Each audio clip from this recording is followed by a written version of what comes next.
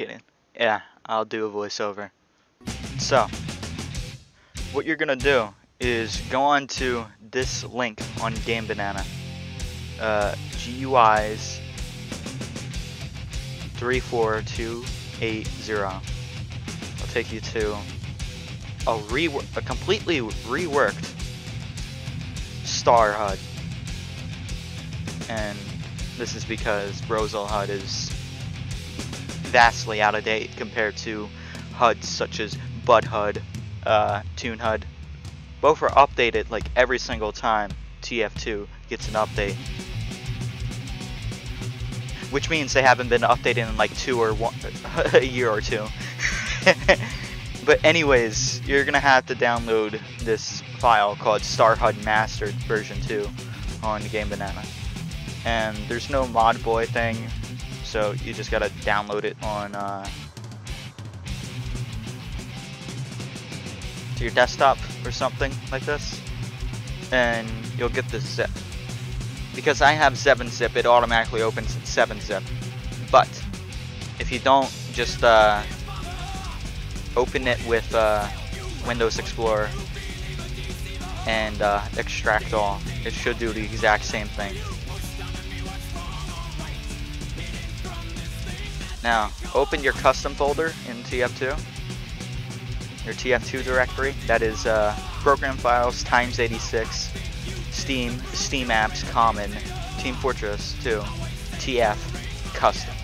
I'll show you the complete way. So, program files times 86, Steam, Steam apps, common, Team Fortress 2, TF, custom. Now, I already have a HUD installed. I don't use this HUD, I use Ray's HUD. But this works with any HUD at all. Any HUD. With the extracted folder, let me just get rid of this. You just put it in there. That's all you do. You just put it in there. Now, since Star HUD is in TF2, I'll launch TF2 and show you what it looks like. Now, this is what TF2 looks like on the main menu uh, when you install the HUD. This is what you should get. Unless you downloaded a completely different HUD, then that's on you. But this is what it looks like. Uh, I know it looks different from the star videos from past.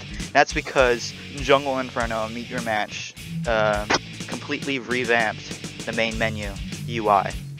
So this is what a reworked version should look like. And you have the funny days font all. So let me find a game to show you off, show it off. So now that I'm in game, this is what the HUD should look like.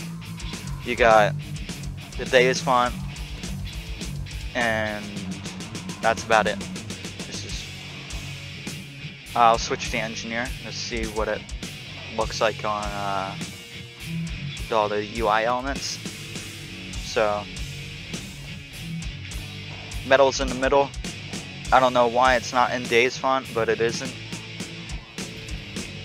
I feel like it should be in Days font, even if it's not like accurate to star videos. And I'll go on to MVM.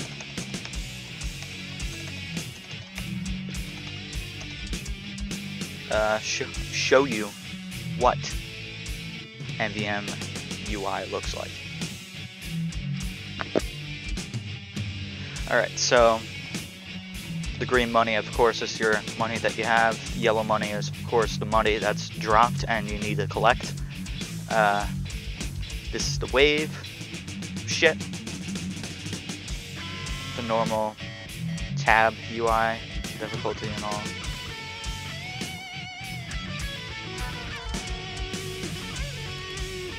Charge meter is just a big fucking bar. And if I switch to sticky bombs, the same thing. amount of stickies you have is right above the charge meter. That's good. And right now I'll toggle minimal mode, see what it looks like. Oh, no, that's not good. Oh, never mind, it fixed itself. Uh, it doesn't seem to be much of a difference. Let me check.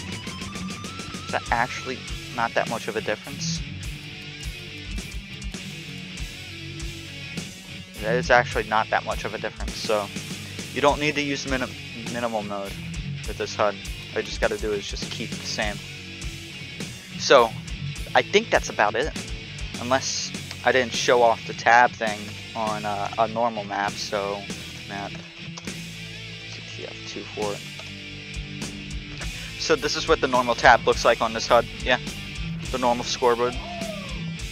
So, that's about it.